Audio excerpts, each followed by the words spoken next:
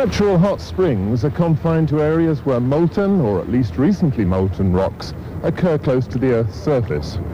And after four and a half thousand million years, it's clear that the Earth's interior is still hot, and that's because energy is being continuously produced by radioactive decay of long-lived isotopes of uranium, thorium, and potassium. Now, in the case of uranium, we can utilize the energy much more efficiently and rapidly by inducing those atoms to undergo fission in a nuclear reactor. And that's a much more efficient process than harnessing the energy of hot springs, such as these in Colorado. But for the nuclear industry to function effectively, we need to understand how uranium is concentrated in the Earth's crust in order to choose the best places to mine. Some igneous rocks, like granite for example, provide the link between average crust and an economic uranium deposit. Now this granite's in the Rocky Mountains of Colorado. And I'm going to use this gamma ray spectrometer to record the natural radiation that's coming out of the rock. At the moment it's reading background, but if I point it towards the outcrop, the numbers and the note that's produced by the buzzer correspond to the amount of uranium that's present. And that number represents about 50 parts per million of uranium in this granite. That's a considerable advance on average crust, which was 4 parts per million. Now, uraniferous granites like this one probably represent the culmination of several phases of uranium concentration in the crust by remelting processes. Let's take a closer look at the rock. The minerals that are present are grey, glassy quartz, pink felspar, and black flakes of biotite mica.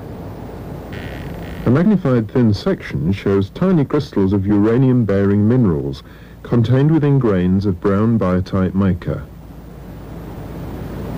Well, there are several geological processes that can take the uranium that's present in a granite like this one and concentrate it and so produce an economic ore deposit. And in this program, we're going to visit three working uranium mines in different geological settings. But first, we'll consider those concentrating processes. Imagine a piece of folded, metamorphosed continental basement, which is intruded by uraniferous granite. Economic deposits may be found in the coarse-grained pegmatites resulting from late-stage fluids that concentrate uranium. They're also deposited in the stockwork of small veins which form in fissures produced when the granite was emplaced. Uranium deposits that are clearly associated with igneous activity are called primary. When a uraniferous granite or even a primary ore deposit is eroded, the sedimentary rocks forming in an adjacent depositional basin may contain secondary uranium ore bodies. Primary uraninite grains are broken down to produce soluble uranium-6 plus ions by oxidizing groundwaters passing through the sediments derived from a uranium-rich granite. Soluble uranium is carried along until conditions become sufficiently reducing that black uranium minerals are reprecipitated. Another way in which ore deposits can form within uraniferous sediments is when during a later phase of subsidence, orogenic activity and igneous intrusion, hydrothermal fluid convection cells develop over the heat source. Uranium may be leached from a relatively large crustal volume as fluids are drawn down towards the heat source. It's reprecipitated in concentrated form in the zone of cooling and upwelling. Fault zones are prone to this kind of mineralization, giving rise to vein-type ore bodies. Fault zones beneath unconformities with overlying impermeable sediments are particularly ideal. Most minerals are found first in vein-type deposits, and most of the richest uranium ores occur in veins, often at depth. I'm 200 meters below the surface in the Schwartzwalder uranium mine near Denver in Colorado. And the rocks around here are all like this. It's a dark grey, fine-grained Precambrian mica schist. Now the schists are cut by a complex series of mineralized veins. Here's one example. Here's the top, and here's the bottom of a mineral vein. These are all very rich in uranium, so rich that they were too much for our sensitive spectrometer, so I've borrowed this one, which reads in percent, and it's recording just there between 5 and 6% of U3O8. The local geologists who have looked at the whole vein reckon that it contains an average of 4.4%. Now, the trend of this mineral vein up this incline at about 30 degrees means that the technique of mining has to be adapted to take into account the nature of the deposit. And this technique's called stope mining. Once a promising zone of ore has been located using the spectrometer, it's peppered with drill holes that will be used to fire shots, so bringing down blocks of ore and advancing the opening or stope.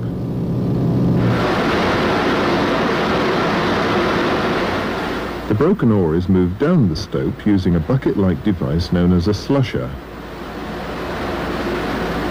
At the bottom, the blocks fall through a coarse screen into trucks which are hoisted to the surface. But the Schwartzwalder mine doesn't consist entirely of stopes. This 600 metre deep mine has 19 levels which are worked across a mineralised fault zone. The stopes are confined to mineralised fractures that were produced during faulting, and which occur in the upper or hanging wall of the main fault. The reason why there are so many levels is because the main fault zone is nearly vertical. But it's not just a simple fault zone. It's a series of complex fractures that extend out over quite a large region. Now, here we've got examples of angular fragments of mica schist set in a matrix of calcite. These angular fragments uh, were probably produced during the faulting motion pieces of wall rock would have been ripped off as shearing took place. Now we call this a breccia. It's a fault breccia. The calcite that we see in the matrix and also in these crystalline cavities was deposited from hot mineralizing solutions that forced their way up through the fault zone, which was permeable because it was brecciated.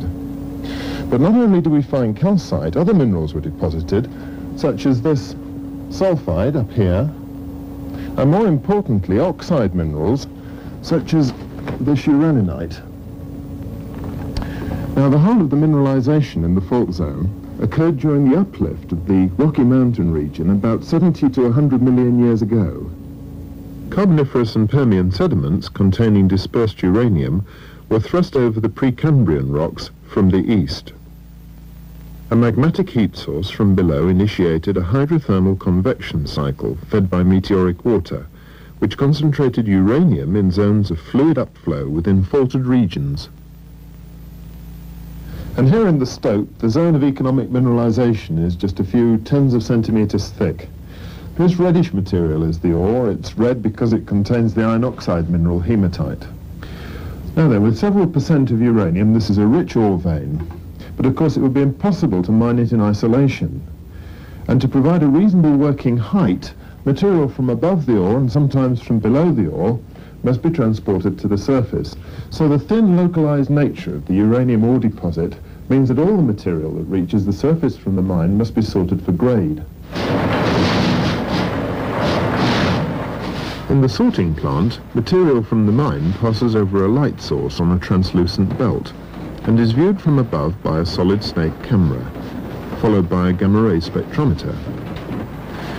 Information on the size of each fragment and its gamma emission are combined in a computer which controls an air blast. This causes fragments to fall either onto the ore conveyor or to the waste pile. The cutoff grade can be adjusted by reprogramming the computer. The average grade is 0.44%, and from the 70,000 tons of ore mined each year, some 250 tons of uranium are produced. Reserves of this kind in deep veins are dwindling. New reserves of high-grade ore are needed, and among the newest types of deposit to be investigated are different kinds of hydrothermal vein, an example of which lies in the remote region of northern Saskatchewan in Canada, at Key Lake.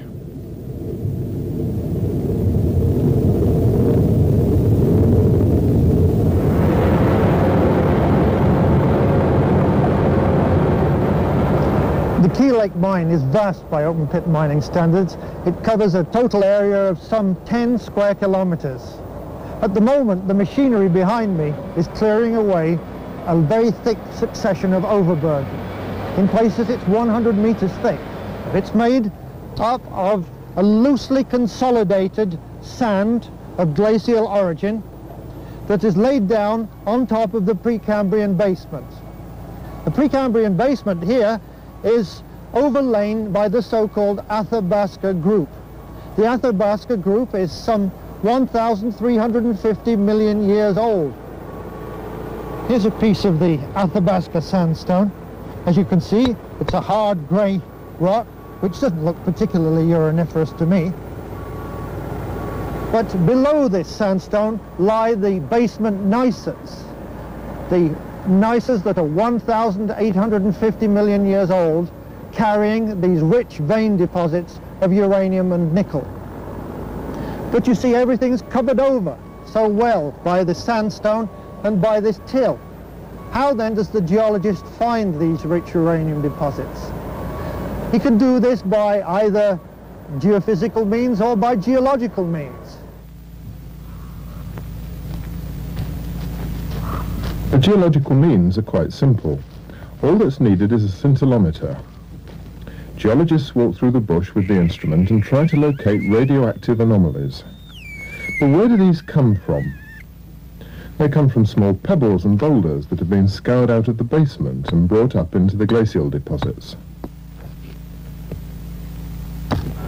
Let's have a look what we can find in this little succession here. At the moment, I'm not getting much of a count. But let's see what we can find in this outcrop. Ah, we're getting more counts now. Counts are rising.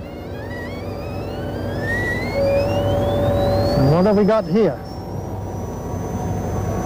Here buried in the till we have a black pebble of rich uranium nickel ore. It carries something like 50% uranium and 25% nickel.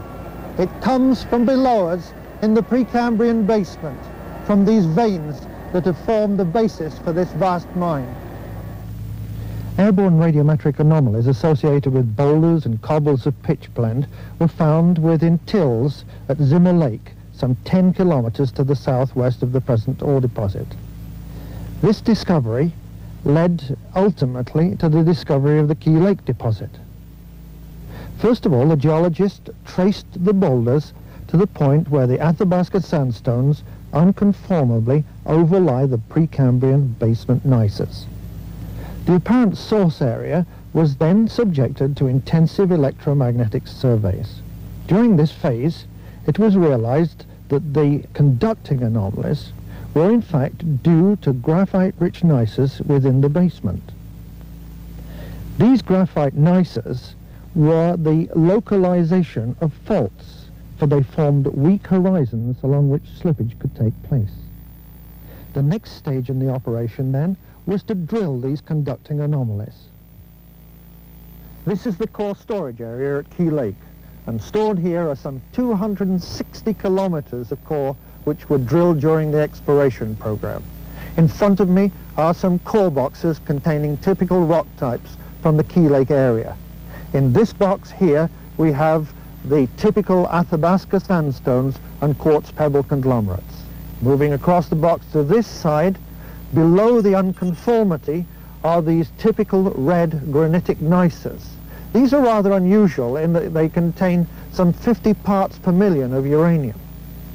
And between here we have, in this box, the black graphitic materials which were the cause of the geophysical anomalies which led to the discovery of these rich uranium deposits. And in this box here, the rather colourful uranium and nickel ores. You notice that some of this material is green in colour. This is the nickel that's weathering out. And the black material over there is the rich uranium, which runs up to 50% uranium oxide. Let's just take the scintillometer and run it across these boxes from above the unconformity, through the graphite gneisses, into the rich uranium nickel ores. After analyzing and interpreting all of this core, detailed sections were constructed to plan the mining operation. It's quite clear that the uranium nickel ore bodies lie in faults at and below the unconformity between the Athabasca group above and the older Precambrian metamorphic rocks below. During several repetitive phases of hydrothermal activity, uranium and nickel were sweated out of the Precambrian metamorphic rocks. The unconformity probably was the site of an abrupt change in physicochemical environment. So as the mineralized fluids rose up through the faults, uranium oxides and nickel arsenides were precipitated at this level.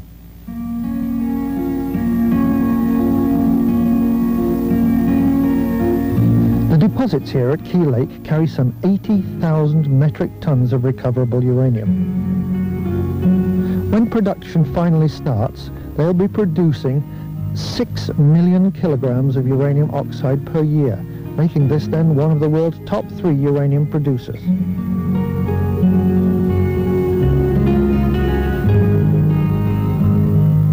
It could indeed supply 12% of the world's present uranium demand for two decades. Little wonder then that the operators have been willing to spend some $500 million just exploring and preparing for ultimate production. First few years they will have paid off all of their debts and will become one of the world's most profitable mining ventures. Before production from the open pit mine can commence, they have had to lower the water table below the planned mining depth by draining local lakes. Once this was achieved, the thick sand overburden had to be removed and disposed of in an environmentally acceptable manner.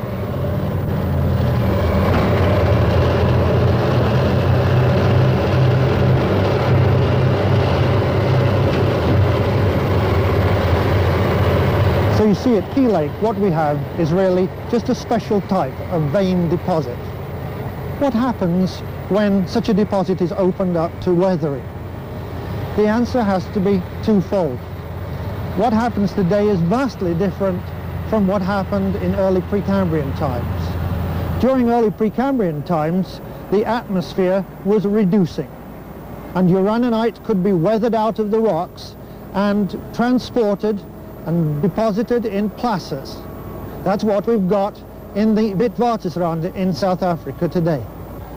But today the atmosphere is oxidizing and the uranium is normally weathered out as the U6 plus state, transported in rivers, maybe down to the sea, and will not be redeposited unless it encounters reducing conditions of the right EH and pH to transform that U6 plus into U4 plus.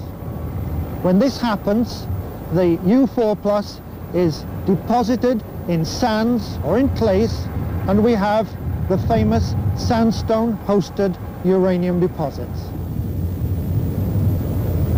And that's just what's happened here. I'm in the King Solomon mine in western Colorado. This mine is working uranium in sandstones of Upper Jurassic age, about 160 million years old. What happened is that uranium has been leached by groundwaters to form a classic series of C-shaped roll fronts, rather like this. Oxidizing groundwaters then migrated through the sandstone in this direction, deposited massive uraninite or pitch blende at the redox boundary around here. Now as to the source of this uranium, well it was either present originally as the sandstone was laid down as detrital uranium minerals, or perhaps uranium's been introduced to the sandstone subsequently uh, by groundwaters. Later, groundwaters will migrate through sandstones, and an earlier roll front may become oxidized, leaving some uranium in the form of spectacular orange and yellow oxidized ores. Close inspection of the sandstone shows that it contains fossilized plant fragments that have escaped destruction, and this is evidence of anaerobic reducing conditions. Now locally, the presence of organic matter like this has acted as reducing agents in order for uranium to be precipitated, and that's just what's happened up here. These spots contain black nuclei rich in uranium and white sandstone margins bleached by radiation.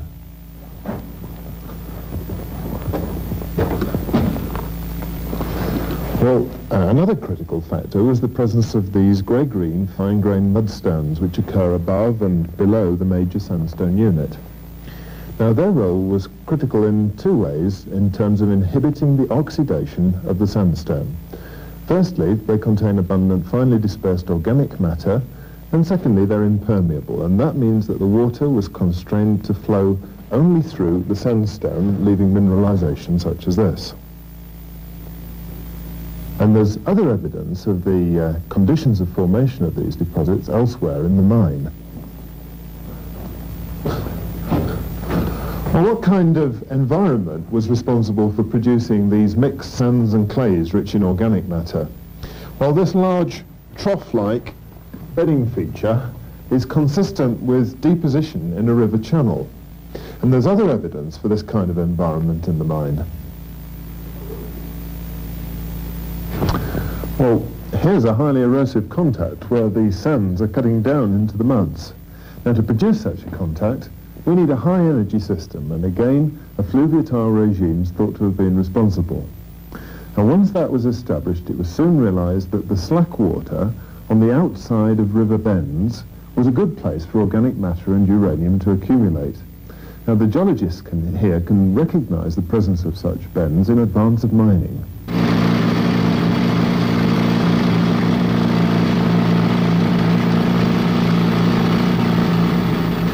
Test holes are drilled into promising strata and are logged with a gamma probe.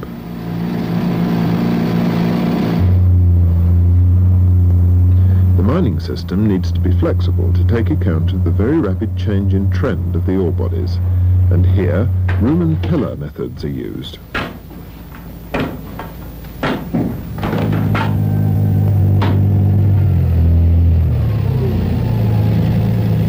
About 80,000 tons of ore a year are produced at King Solomon, about the same tonnage but at a lower grade than from the Schwartzwalder vein. The simpler geology results in a less energy and manpower-intensive mining system, which helps to make this lower grade deposit economic.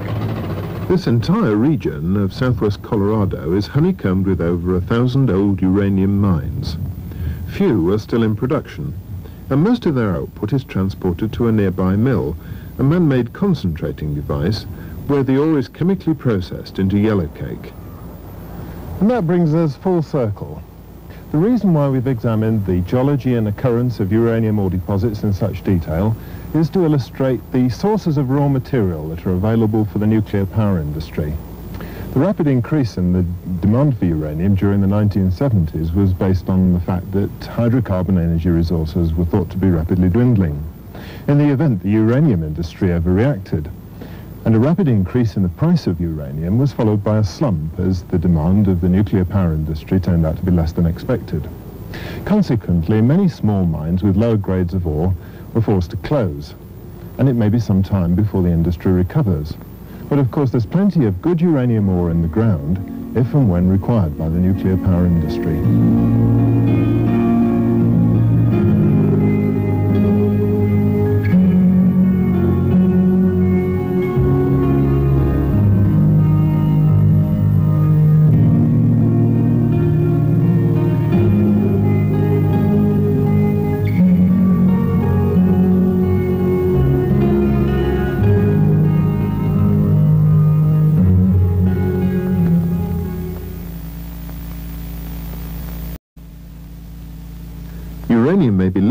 A relatively large crustal volume as fluids are drawn down towards the heat source. It's reprecipitated in concentrated form in the zone of cooling and upwelling. Fault zones are prone to this kind of mineralization, giving rise to vein-type ore bodies. Fault zones beneath unconformities with overlying impermeable sediments are particularly ideal. Most minerals are found first in vein-type deposits, and most of the richest uranium ores occur in veins, often at depth. I'm 200 meters below the surface in the Schwartzwalder uranium mine near Denver in Colorado. And the rocks around here are all like this.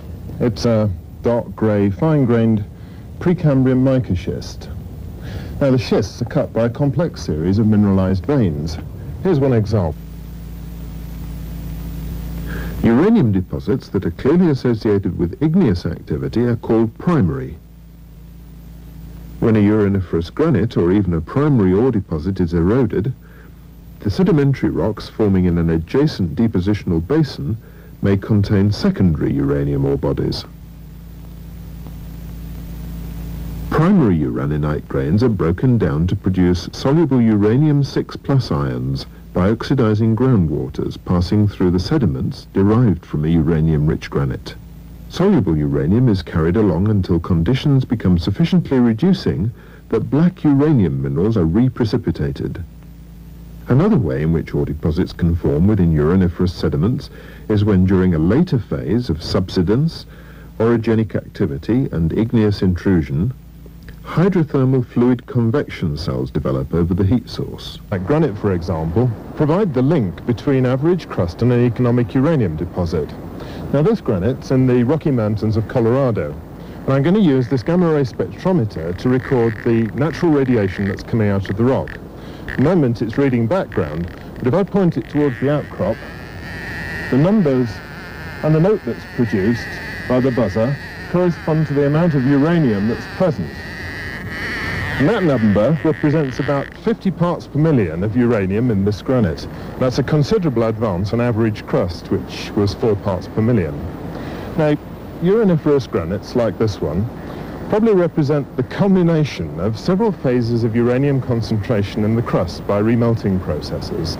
Let's take a closer look at the rock. The minerals that are present are grey glassy quartz, pink felspar, and black. Natural hot springs are confined to areas where molten, or at least recently molten rocks, occur close to the Earth's surface. And after four and a half thousand million years, it's clear that the Earth's interior is still hot, and that's because energy is being continuously produced by radioactive decay of long-lived isotopes of uranium, thorium, and potassium. Now, in the case of uranium, we can utilize the energy much more efficiently and rapidly by inducing those atoms to undergo fission in a nuclear reactor. And that's a much more efficient process than harnessing the energy of hot springs, such as these in Colorado. But for the nuclear industry to function effectively, we need to understand how uranium is concentrated in the Earth's crust in order to choose the best places to mine Some igneous rocks, like flakes of biotite mica. A magnified thin section shows tiny crystals of uranium-bearing minerals contained within grains of brown biotite mica. Well, there are several geological processes that can take the uranium that's present in a granite like this one and concentrate it and so produce an economic ore deposit. And in this program, we're going to visit three working uranium mines in different geological settings. But first, we'll consider those concentrating processes. Imagine a piece of folded, metamorphosed continental basement, which is intruded by uraniferous granite. Economic deposits may be found in the coarse-grained pegmatites resulting from late-stage fluids that concentrate uranium. They're also deposited in the stockwork of small veins which form in fissures produced when the granite was emplaced.